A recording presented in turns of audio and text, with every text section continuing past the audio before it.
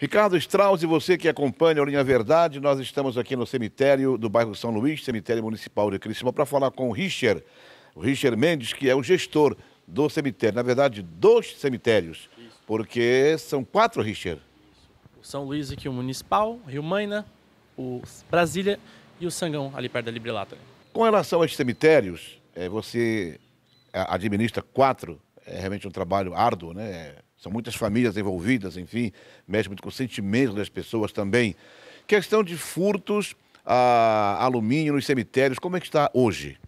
Então, a gente teve uma queda né, bem drástica em relação às épocas anteriores, até porque a gente fez a instalação das concertinas, né, a gente tem uma equipe maior hoje de funcionários, então toda essa equipe de funcionários que atuam hoje no cemitério faz essa parte de estar ali acompanhando, de estar monitorando. Só durante o período da noite que a gente tem né, menos pessoas e é um período mais propício a acontecer. Mas a redução foi significativa. Né? A gente dificilmente tem mais do que cinco furtos por mês em, em, cada cemitério, apesar de ainda ser um número né, complicado e a gente ainda não tem uma solução para resolver esse problema, que é um problema do mundo, né, dos furtos. Tá certo. Agora, com relação, Richard, ao dia de finados, as pessoas, muitas vezes, o brasileiro deixa para a última hora. Você está orientando as pessoas com relação a esse fato? Sim. É, a gente pede, né, inicialmente, que estejam né, efetuando as limpezas, as manutenções do seu jazigo, sempre um pouco antes, né? não deixar para a última hora, que é a tendência, daí movimenta muita gente, às vezes vai acontecer de atrapalhar, por exemplo, vai usar água, daí pô, tem pessoas usando água para fazer obra, tem gente que quer limpar a capela. Então, né, esse movimento muito grande nessa data fica ruim. Então a gente pede que as pessoas se antecipem, né, se para ter essa, essa, essa prevenção antes, não deixar para a última hora, porque pode ter alguma dificuldade. Né? Você falou em água, o reservatório aqui tem quantos mil litros? Isso, então a gente ainda está concluindo ali, né, vai ficar um reservatório de pelo menos 5 mil litros, para caso ocorra a falta de água, né, as pessoas não ficarem desamparadas. Tá? Mas a demanda realmente que a gente tem nessa data, ela é superior a qualquer outro dia do ano. Então não tem como você ter uma estrutura que vai conseguir atender todo mundo 100%. Né? Nós estamos no início do mês de setembro e o dia de finados, dia 2. Tem um tempo para as famílias fazerem essas manutenções? Isso, sim.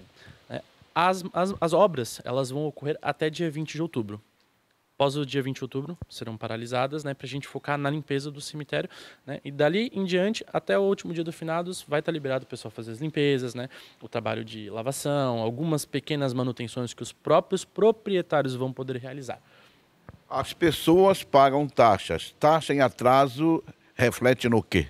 Então, uh, a taxa ela é para ser paga anualmente. Então o cliente tem todo o decorrer do ano. A gente já está enviando, inclusive, esses boletos agora por WhatsApp, né, tecnologia nova que já está funcionando. Então o cliente ele tem né, todo ano ali para estar tá pagando essa taxa. Ele pode efetuar o pagamento via boleto, que a gente faz o envio, ou pode pagar direto no escritório. Tá? A implicação disso é que, dependendo do período que a pessoa fica inadimplente, né, ela pode ser notificada, e se isso persistir e a gente não tiver um, uh, esse contato com essa família, ela pode ser destituição de jazigo. Olha só. O horário de atendimento? Das segunda a sexta, das 8 às 18. Sábado e domingo, das 8 ao meio-dia e das 14 às 18. O cemitério ele funciona de segunda a segunda, né? então a gente não fecha. A gente pede, inclusive, né, que as famílias também, quando estiverem vindo ao finados, que passem na administração, que atualizem dados, dados cadastrais, endereço, telefone, porque às vezes é o único momento que a gente tem de se comunicar com essas famílias.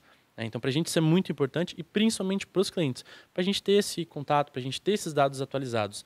Visto também que durante o final de semana agora que antecede o finados, todos os cemitérios vão estar com o escritório aberto para estar tá atendendo. Então, se as famílias quiserem vir anteriormente para atualizar um dado, para buscar alguma informação, para realizar algum pagamento de taxa, todos os escritórios estarão funcionando normalmente.